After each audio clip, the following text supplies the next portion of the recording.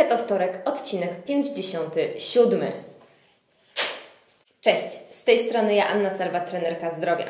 Porozmawiamy sobie o tym dzisiaj, ile tłuszczu na keto, e, na keto adaptacji, później już po adaptacji i przy różnych celach, które możecie mieć związanych z dietą i samopoczuciem oraz powiem Wam o tym, jaki jest według mnie numer jeden wśród tłuszczów, czyli główne źródło tłuszczu, z którego większość osób powinna czerpać energię. Zapraszam.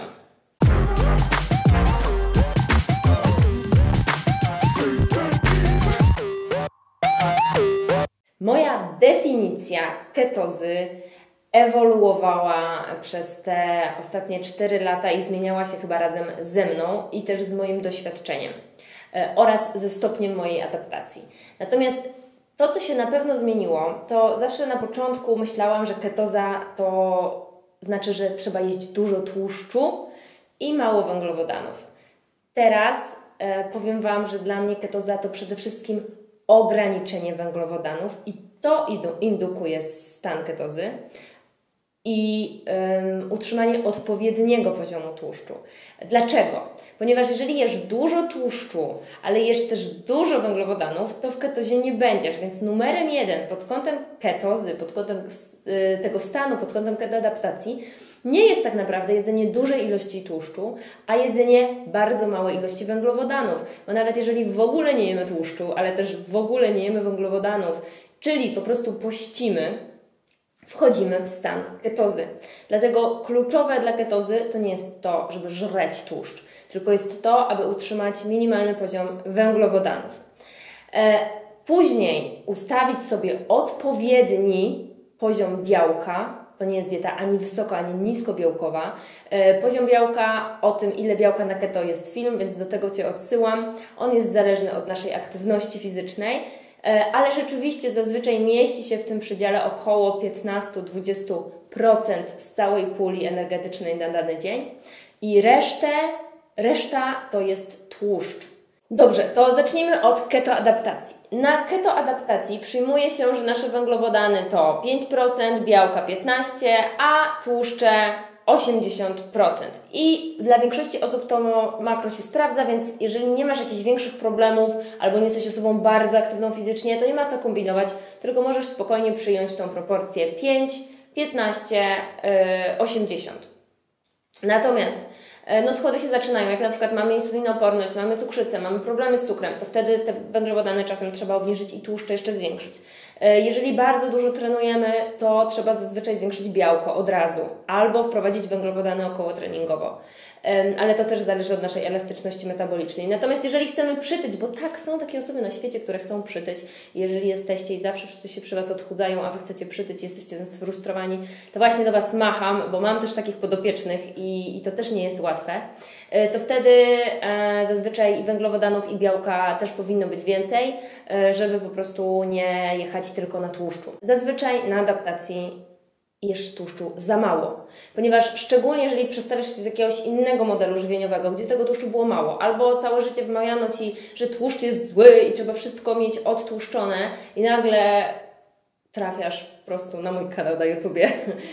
Gdzieś tam odnajdujesz tą prawdę, zaczynasz się szukać, edukować, bo być może na tych dietach niskotłuszczowych po prostu źle się czułaś E, i okazuje się, że tłuszcz trzeba jeść, no to e, nam jest ciężko nagle 80% energii pozyskać z tłuszczu. Więc zazwyczaj, jak czujesz się źle, jak ta ketoadaptacja nie przebiega dobrze, to spróbuj po prostu dołożyć trochę więcej tłuszczu. Mogą być to tłuste mięsa, tłuste ryby, ale może to być też ten tłuszcz dolewany w postaci oliwy z oliwek, oleju MCT, który polecam na adaptacji, e, oleju z awokado, oleju z ogórecznika, różne, również te tłuszcze nienasycone, e, które nam pozwolą całkowite to makro e, zbilansować. Więc na adaptacji uważam, że 80% tłuszczu, a czasem nawet więcej jest konieczne.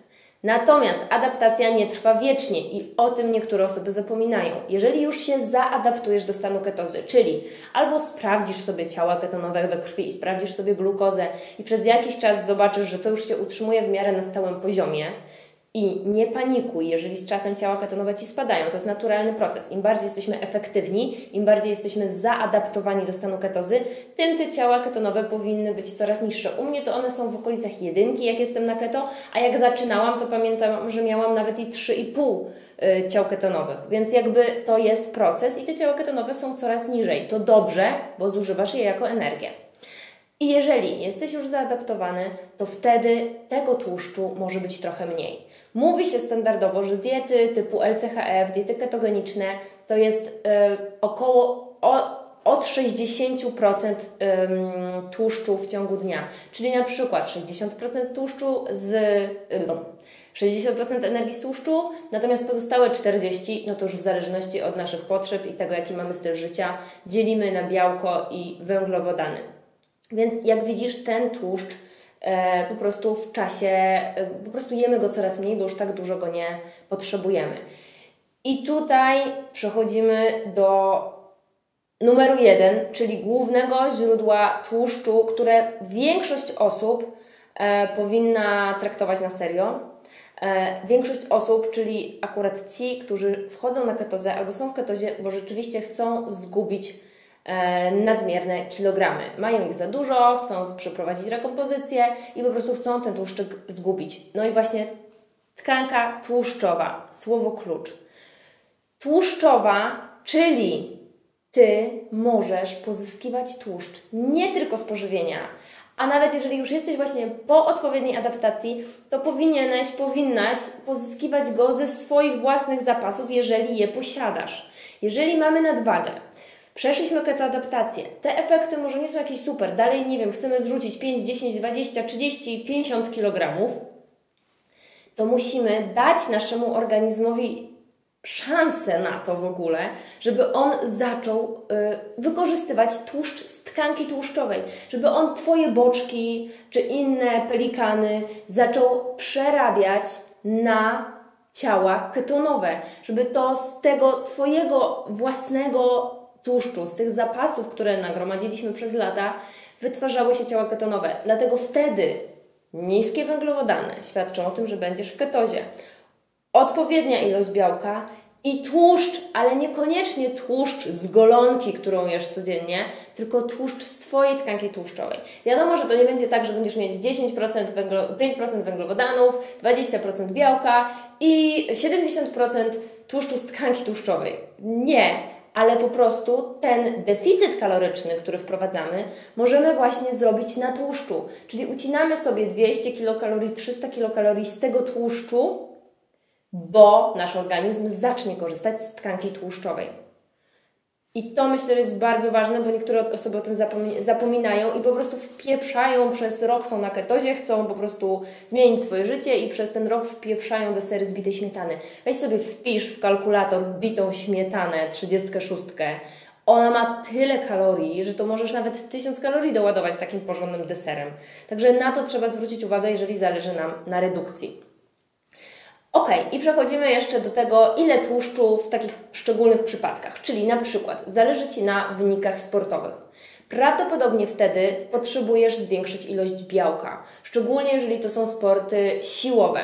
Jeżeli to są bardziej rzeczy wytrzymałościowe, to prawdopodobnie lepiej będziesz się czuć na wyższych węglowodanach. Natomiast tutaj nie ma reguły, bo uwierzcie mi, czytam y, różne opracowania i naprawdę niektóre osoby, nawet olimpijczycy, jadą na wyższych węglach, są w ketozie, niektórzy praktycznie nie ładują aż tak tych węgli, są w ketozie i mają dobre wyniki. Y, to jest bardzo indywidualna kwestia i po prostu musimy być własnym, swoim własnym królikiem doświadczalnym.